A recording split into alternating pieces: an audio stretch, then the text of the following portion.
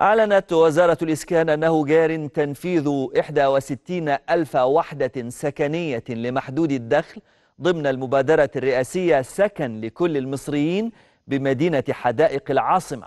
وهي إحدى مدن الجيل الرابع الذكية الجاري تنفيذها على مساحة حوالي 29 ألف فدان تقريبا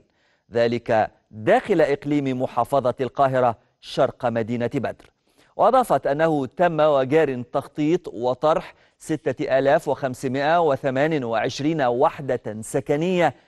لمتوسط الدخل بجانب طرح تنفيذ 1056 وحدة سكنية بمساحة 90 متر مربع ضمن محور الإسكان الأخضر. وفيما يتعلق بمشروعات الخدمات تم إسناد وجار تنفيذ 28 مشروعا خدميا يضم أسواقا تجارية وحضانات ومخابز ومدارس ووحدات صحية وملاعب ومراكز شباب بجانب طرح تنفيذ خمسة مشروعات خدمية أخرى وسبعة مشروعات شاغرة لخدمة المناطق المختلفة بالمدينة.